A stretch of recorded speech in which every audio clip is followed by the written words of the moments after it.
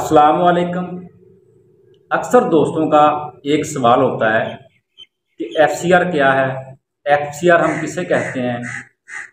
Are का मुहफ़ क्या है?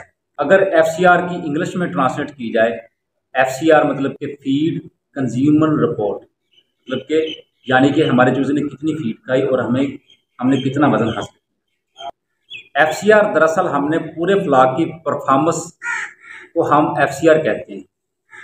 यानी कि अगर हम एक किलो वज़न हासिल करते हैं तो एक किलो वज़न हासिल करने पर हमारी कितने किलोग्राम फ़ीड खर्च होती है जितनी आपकी फ़ीड कम खर्च होगी अच्छा आपका वज़न हासिल होगा, वो आपकी बेहतर और अच्छी कारकर्दगी होगी।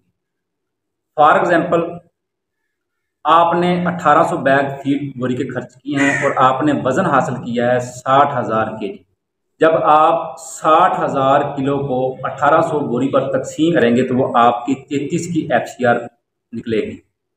वो तैतीस की, तैतीस एफ़ सी आर क्या है? वो आपने पचास किलो फ़ीड खिलाकर आपने तैतीस किलो वज़न हासिल किया है।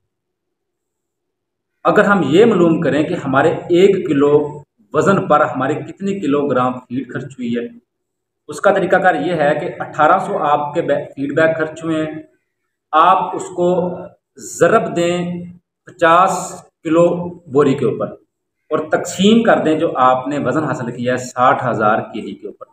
फिर इस तरह आपके सामने एक पॉइंट आएगा, एक शारिया पाँच। एक शारिया पाँच किया है। एक शारिया पाँच मतलब कि एक किलो पाँच सौ ग्राम फ़ीड खिलाकर आपने एक किलो वज़न हासिल किया।